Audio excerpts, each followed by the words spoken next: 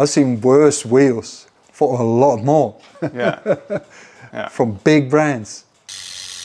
Recently, I had these carbon Winspace Hyper wheels completely checked out and surfaced by a professional wheel builder. We're gonna go over the general build quality and the quality of the parts of these wheels and the longevity. So looking at the wear and tear and also the serviceability after years of using them. And last but not least, we're gonna answer the question, are these wheels worth your money?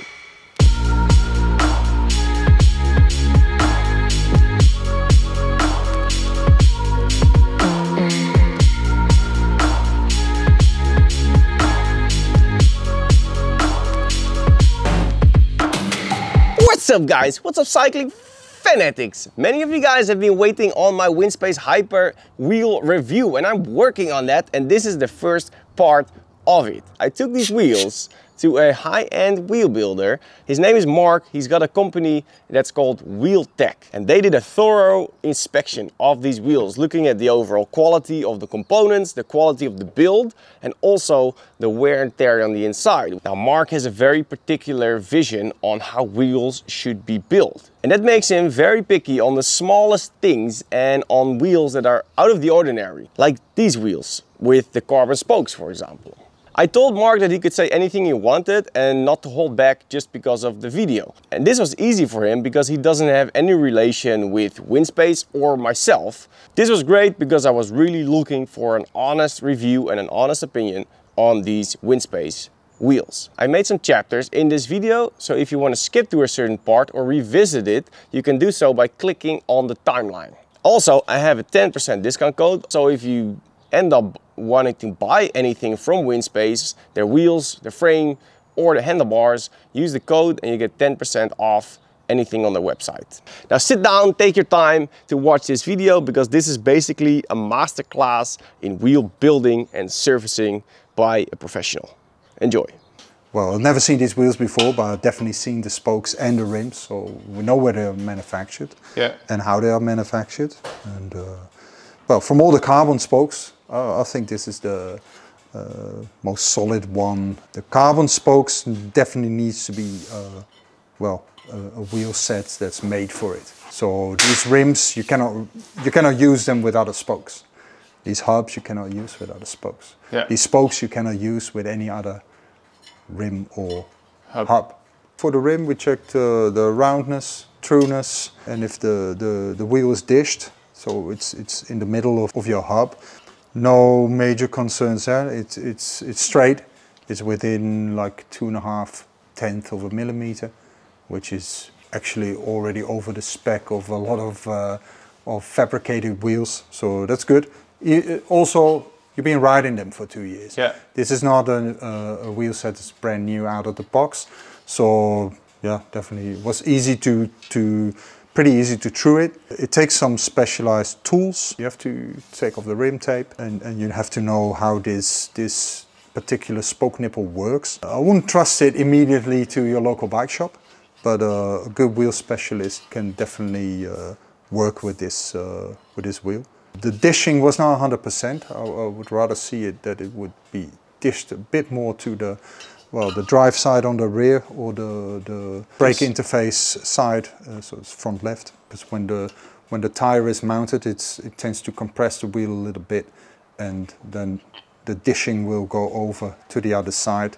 So you like to compensate that a little bit, but that shouldn't be too much of a problem, and you have to always look at it in your bike Yeah. because the wheel can be as as dished and true as it is but if you look at standard of, of, of bike forks and bike frames uh, that can already give a little offset but that's easily done also with these wheels you can quite easily redish them according to what's needed for your bike Can you say something about the spoke tension? that seems to be even. Uh, and that's only te- sound tested. So basically what you do is that you, you, you, pick, you pick the spokes so you can, and, you can already feel there's a, there's a, a good amount of tension. Uh, the only thing you don't want is too, uh, too low of a tension. Too high of a tension also not good. But these spokes we have to calibrate with our spoke tension meter. cannot tell if, if this is too high or too low. On the other end, if it would have been too high or too low, you would expect certain problems in the wheels. They're not evident, so that's a good indication that the spoke tension is overall is okay. Okay. And and you didn't get any untrueness or uh, any other problems with his wheel, so I think that shouldn't be any any concern at all. What we saw is that the, the spokes are turning. Some of them were kind of twisted. Does this has a, have a reason? Uh, can we can you uh, fix it? Uh, is it a big problem? Yeah, you can fix it, but but uh, you should always ask yourself the question: Why did it happen in the first place? And there's no reason for it not to come back now. We put them straight again. Uh, normally, you would expect this with a heavy side load and too low of a spoke tension that they can they come very low in their tension and they can turn. Or if they were built with some pre-tension already and the torsion, and then during riding it will come out and Yeah. they will start to turn. So for now, I would definitely say, well, just let's just have a look if it if it comes back. what did happen uh, that one of the spro- one of the spokes it failed partially. It's not it No. didn't break completely, but it is No. damaged now, huh? Yeah, So- but it but it's but it's a, a pretty big portion of the spoke, and this uh, for safety reason definitely needs to To be come out. If they break, they break. They don't bend. No. Steel spoke will bend. If something happens with these spokes, it's uh, I think they're very strong. But if, if something happens, they will they will break. They will never bend. If this spoke would break, would the wheel uh, be? Uh, it, it's You not have- like the whole wheel is going to collapse. You will have a challenge, yeah, because that's also because this is uh, this is 21 spoke wheel, but Yeah. actually it's not, because these spoke pairs function as as as one. The the configuration of the spokes is it's a triplet, so it means you've got two spokes on one side, one spoke on the other side, two spokes, one. But these function as one. Yeah.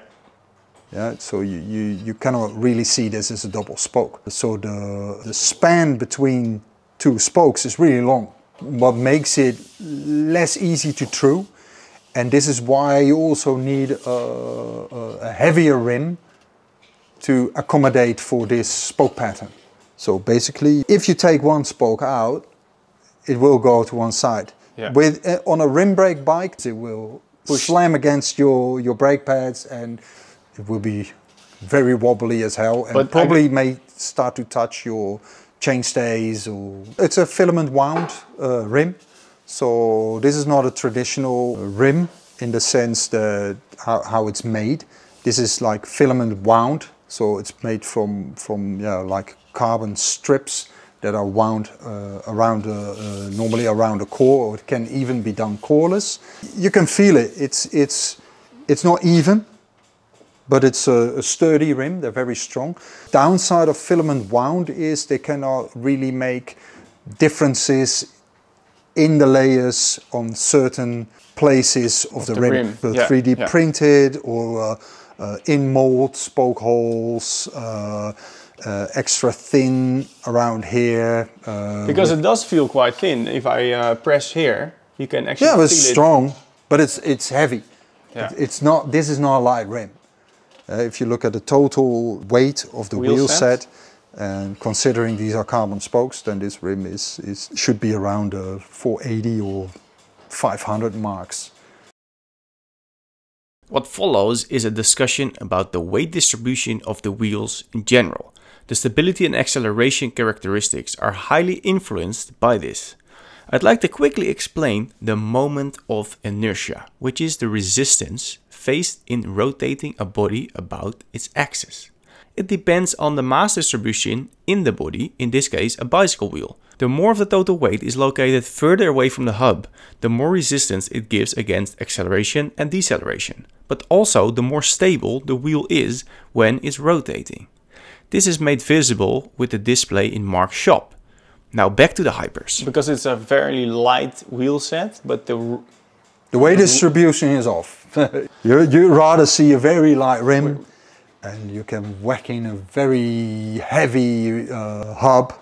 Spokes, of course, like half of it is like in the center of the wheel, the other half is in the outside. Yeah. So the, the weight gain over CX-Ray spoke is not that, that much. It's there, all weight counts, but it only counts as half Yeah. for a spoke. On rim weight, already thir- uh, between 30 and 40 grams, you can feel the difference easily in your race Yeah. bike. But what is uh, is there a downside to lighter rims? Because we can go super light on the rims, but there's going to be a downside, I guess. It's like driving a race car. Do you always want to drive a race car? If you drive, drive from here to Paris on the on the highway, do you want uh, want something that always wants to to go? A race car wants to be driven on a circuit. Yeah. Downside, it's more nervous. The upside, it's it's more nervous. Yeah. So you can really Yeah. So these are Race it. maybe more on the stable side, but less on the twitchy side and acceleration side. And yes. But you have to work harder if they react at all on wind. yeah, the, the, the stability of a heavier rim also makes it harder to to To put- move. to move it back. So actually, I did. a- I do think these are these are pretty stable in crosswind. So maybe that's one of the yeah, reasons. it's, it's what was it? Is it 45?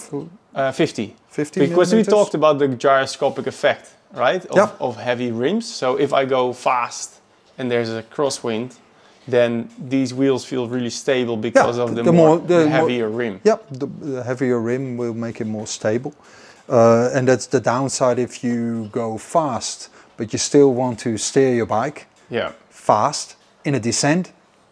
Descent, you want light rims Okay. always. Wow. Interesting. Um, can you say something about uh, the stiffness, like radial, axial, or lateral stiffness, if there's anything to say about that? hard to say. It's it's. We didn't test it specifically, No, we didn't test uh, it specifically. Uh, what we've seen before from the filament wound rims, there's no significant difference from the traditionally made rims. It's more the amount of spokes and spoke pattern and the bracing angle. Then I, I don't think it will be out of the ordinary from on one side or another side. Wheels are not stiff you, you expect to see deformation around the spoke holes. Okay. With less quality rims, you can also already see that they, they get deformed because of the, the spoke tension. You don't see that here at all. It's a strong rim. What we didn't discuss uh, uh, about the rim is actually the internal and the external width. You you measured it. It seems Yeah. to be very um, It's consistent. consistent, yeah. but still relatively uh, narrow. 19 millimeters uh, internal width is, is rapidly vanishing. 21 internal is minimum at the moment. Yeah. And for 28 millimeter, you you definitely want uh, 21 internal. When you mount uh, 28 here, it will become very bulbous, and you have to put way too much pressure in this tire to function, which causes the tire not to function. Yeah. Yeah. You yeah. want to keep your tire pressure moderate Lower. to low. That's also why I was using the 25 millimeters on Yeah. my uh, races because this rim, what they say, is optimized for 25. So uh, Well, I would say 23 to 25. yeah, Rim tape is, is good quality. We use exactly the same. yeah, and uh, the width was right. Uh, the valve hole was made properly without any rips or whatever. So the, the downside of this spoke nipple uh, is that you need two tools to work with it. With a bladed spoke, you always need two tools actually, but one tool needs to go through the uh, to the spoke hole on the rim side, and so every time you threw it, is uh, you need to take off the, the rim tape. On the other end, they stay true for two years with it, so not It's no not issue, a, right? Not a really big deal. After two years, taking taking the taking the rim tape off and replacing it is is sensible thing to do anyway. Yeah. You know, you want to have a look in, inside because you want to know if your if spoke nipples are corroding or. Did you see any corrosion or did you feel any corrosion? No. How was it to work on the Oh, on easy. the on the wheel? the spoke nipples uh, didn't seize, so you can still read through your wheel. Uh, I don't see any signs of, of corrosion or uh, on the outside of, of the spoke nipple. which is a good indication that you don't clean your bike too much. and uh, and uh, they haven't been uh, touched by too much salt or brine or I have not ridden these in the winter through the salty roads and stuff. And uh, so we talked about the, the the rim and the spokes. Can you say something about the hubs and the bearings and and the the internal? But in system? good shape. Hubs are in good shape. It- because this is a very specific hub to the spokes and the wheels. Yeah, the only right? special thing actually about the hub is that it's made to uh, to be used with this this particular uh, rim and uh, spoke configuration. It's a triplet, so you cannot uh, use it on any other spoke or, or rim. The, the basic idea of this uh, hub is, is there. There's no side play, it also doesn't seize itself when you put it in. There's a nice pocket on the end cap that collects dirt and uh, dirt and, and so it prevents your hub to dirt up. There wasn't any dirt inside. We That's a good indication that, that your seal is actually working. Huh? And uh, so the front hub, no, no issues, uh, no issues there. No side play, no uh, radial play at all. Hij loopt zuiver, maar hij loopt niet, hij loopt niet super licht. Maar lager weerstand op, een, eh, op naaflagers. Ja, dat is bijna verwaarloosbaar. Ja. Dat is, ik, ik vind dat hij voor een naaf van twee jaar loopt hij gewoon netjes. En eh, nu is het, zou het zaak zijn om ze om even leeg te tikken. Zieltjes eraf wippen, schoon spoelen en, eh, en wat nieuw vettering waar je hoeft niet eens de lagen zelf te vervangen. Nee, waarom? Nee, ja, weet ik niet. Kun je ook gewoon onderhouden. Ja. Ja, ze worden vaak weggemikt, maar dat, vind ik, Ja. dat is zonde, dat is nergens voor nodig. If they are uh, uh, ceramic bearings, you would expect them to be more smooth, but they're in good shape. So, but nothing special there. Is that a bearing thing or is that maybe after the usage? It can be the bearing, but it can also be the construction of the hub. If, if, if, if the hub is not good, the bearings will cannot perform Okay. at all. So you can have a very good bearing if it's in a bad hub, badly constructed hub, that will still get eaten and, and wear out prematurely. We call them bearing eaters. Oh, yeah. After the external inspection, Marc took the rear hub apart to have a look at the wear and tear on the inside. Before we go any further, I'd like to mention that this red colored hub body is an earlier model of the Hyper wheels. If you've recently bought these wheels, yours is probably black because that's the new improved one. All the current wheels that are sold have this new hub design.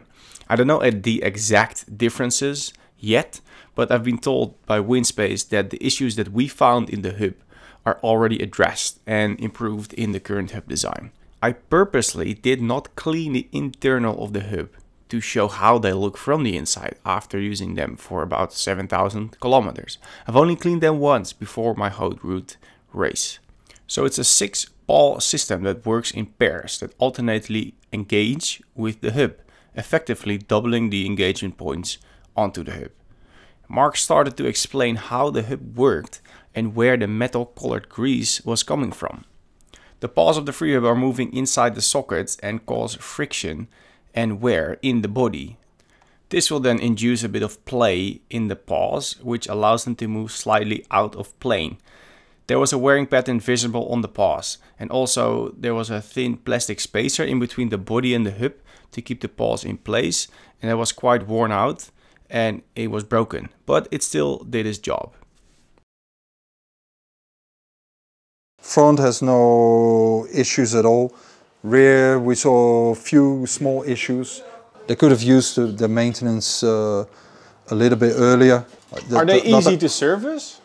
Yeah, there's, there's nothing out of the ordinary. It's a typical pawl and, uh, and spring uh, free, free hub, but you can already see that the, the rubber uh, dried out and failed. Uh, not a little, uh, was it shim, broke. Uh, so that it's causing some issues and it There's is wearing itself out Yeah. at the moment. So this this You needs a- some metal. yeah, yeah. There's um, there's there's definitely metal scraping. So the the the grease you get out has a metallic color, and that comes from the aluminium from the from the sockets of the of the pawls. Is it too late for this to save? What what should No, we no, do no. to, it to needs, it? but it needs some service parts, and and these are, are not readily available. So if if if you if you consider a set of wheels like this, you should always get some of the small uh, smaller stuff like seals, because this is a 15 minute job. But now we have to wait until parts are in. yeah, yeah. It's not really We available. can't fix it because- no, I cannot fix it And now. your shop is filled with with a lot of different Oh, to the brim.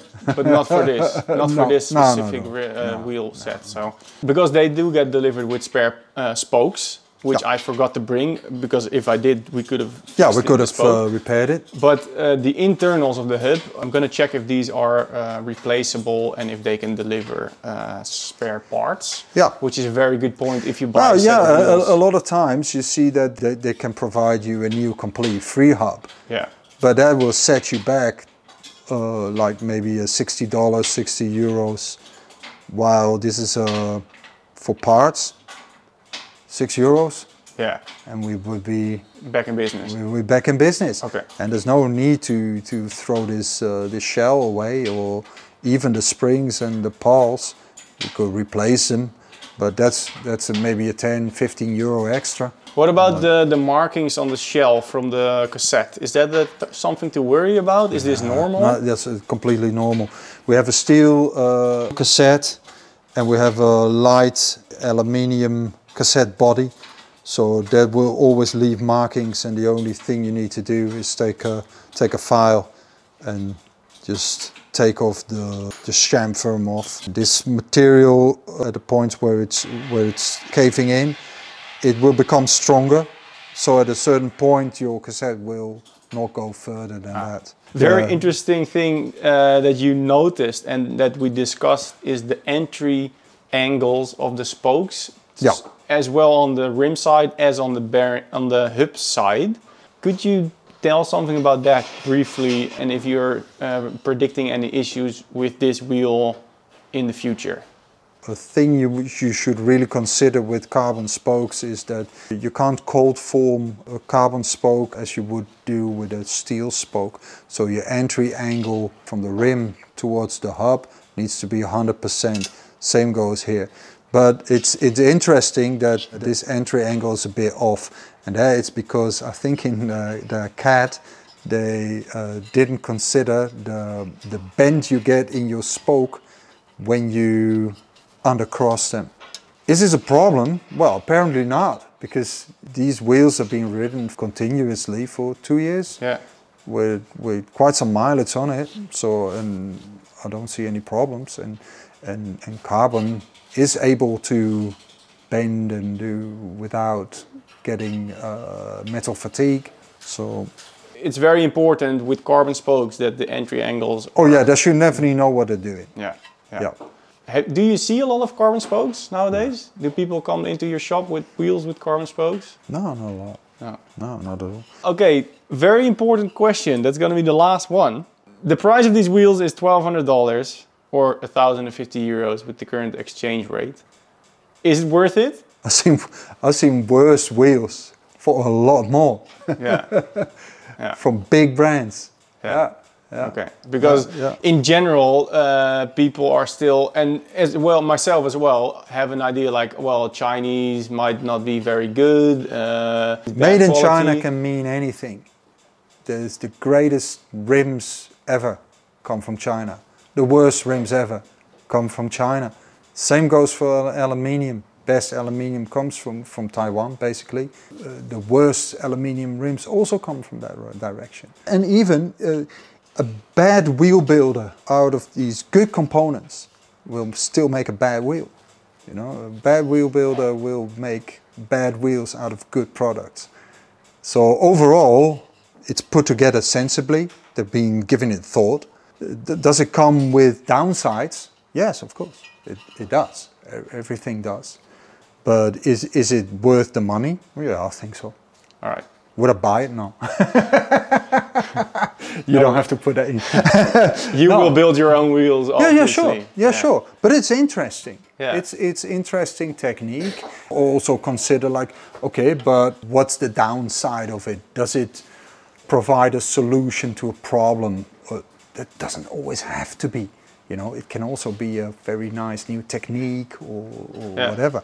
Uh, or, or a little bit better. optimization or, Or uh, on- try to do optimization. Yeah, it's Yeah. all about optimization. Yeah. Thi- This is not overpriced. So with the, the feedback I got from Marc, I went back to WinSpace. And Joe, my contact at WinSpace, he was very open to hear everything I had to say about the wheels. And he could inform me straight away that the, the hubs of these wheels are actually already redesigned. So I have an earlier model of this wheel set, visible with this red cassette body. So if you already have these wheels, a very big chance that you already have the new model. And if you buy it now, then for sure it's gonna be the newer and improved hub and cassette body. I will get a, a newer wheel set from them in the future and then I can uh, compare it side by side. But for now, I'll put some images right here so you can see the difference between the new and the old one. I would like to thank Marc and the guys at Wheel-tec for their assessment of these wheels, for this wheel review. It's a great shop that can be trusted with your gear. I'll go back to them to fix and service this wheel set after the small parts from WinSpace get in. In general, I'm really happy with the verdict of Marc. Looking at the components and the way it's built, we can say that it's worth your money. They retail for $1,200 and if you use my discount code, it's around 1,050 bucks or 950 euros. So that's actually a really good deal for wheels like this. In my next video, I'm gonna continue to talk about these wheels, how I've been using them over the last two years, and what I think of their actual riding characteristics out on the road, on the real world. Please give me a thumbs up for this video. Don't forget to subscribe and hit that little bell notification so you don't miss another video in the future. Guys, thanks for watching. I'm gonna see you next time. See ya!